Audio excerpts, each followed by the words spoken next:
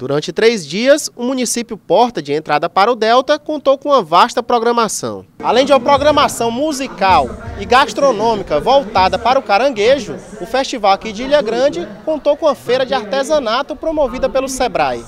O extrativismo do caranguejo é a principal atividade econômica de Ilha Grande. O crustáceo é matéria-prima para diversos pratos típicos.